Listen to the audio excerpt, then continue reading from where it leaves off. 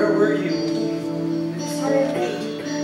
Because what? Because you forgot your keys, or, or you had to go for a walk in the park? Or no, no, you, you had to help your mom with something, right? How's Benny? No work upstairs. Wait, I should... Never mind. Happy.